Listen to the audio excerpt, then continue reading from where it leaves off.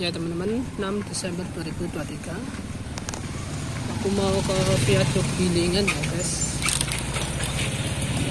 Untuk mengetahui perkembangan terkini yang katanya setelah simpang 70 itu dibuka viaduk Gilingan itu akan ditutup ya. Mari kita lihat apakah iya apakah belum kapan tanggalnya ya ini aku berada di Sumber Ayu dulu. Ayu Timur deh bagaimana kondisi jalannya? Kemarin kan macet-macet ya. Karena rel joglonya itu ditutup simpang menuju joglonya. Nah ini suasana untuk nayunya itu seperti apa? Kita lihat bersama-sama. Ya guys eh, sepertinya lenggang ya.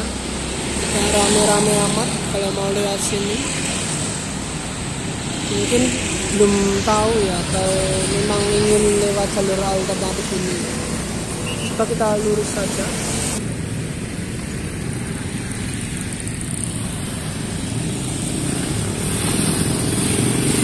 Ini dia perkembangannya guys.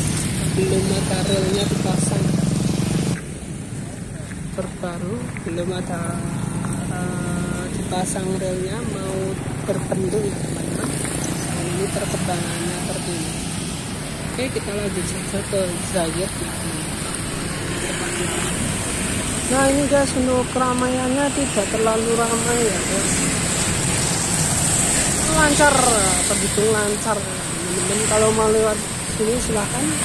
Sekarang lewat simpang 72 aja karena udah dibuka ya Ya ini dia teman-teman. Kali ini aku udah berada di Gilingan tepatnya di depan Masjid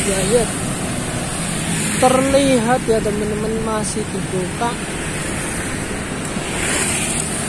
Belum ada tanda-tanda penutupan.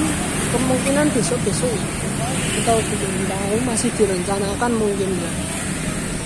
Nah ini Masjid luar biasa sekali ya putih sekali kinclong Nah ini aku mau update uh, via kegilingan kemarin ada request.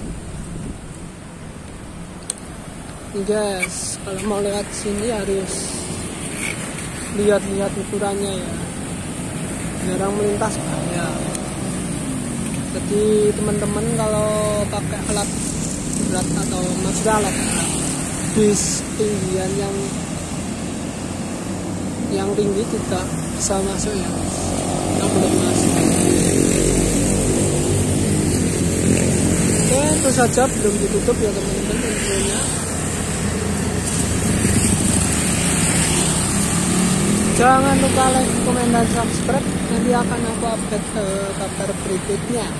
Kalau sudah ditutup atau gimana. Ini via gilingan belum jadi loh BTW ini. Masih dalam proses pembangunan ya. Jadi di sana itu ada belum jadi ya teman oke itu saja dan sampai jumpa